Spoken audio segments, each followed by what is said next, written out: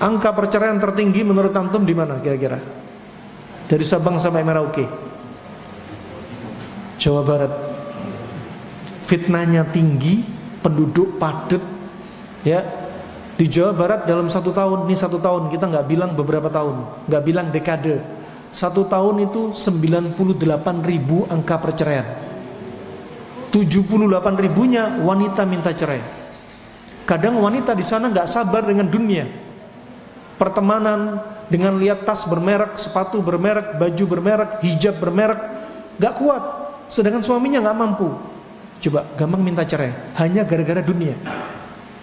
Ya, padahal sholat mereka wanita ini yang bikin laki-laki nggak ridho bisa nggak diterima sholatnya.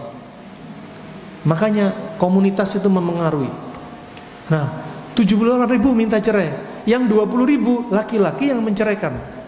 Ranking kedua kira-kira di mana? Jawa Timur. 78 ribu. Ya, 50 ribunya wanita minta cerai. Sisanya 28 ribu laki-laki yang menceraikan. Ranking 3 Jawa Tengah. 50 ribu.